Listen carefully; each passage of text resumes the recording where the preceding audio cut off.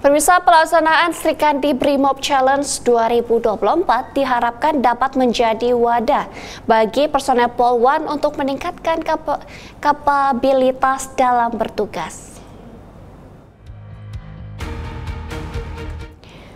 Pokor Polwan Brigjen Pol Desi Andriani menyatakan Polri akan terus mendorong berbagai upaya dalam meningkatkan kemampuan polisi wanita. Menurutnya dengan challenge yang beragam, kemampuan setiap personel Polwan diharapkan dapat semakin terasa. Polri pun menurut Brigjen Pol Desi Andriani siap untuk mendorong Polwan agar dapat semakin terdepan serta mampu untuk unjuk kebolehan di level internasional.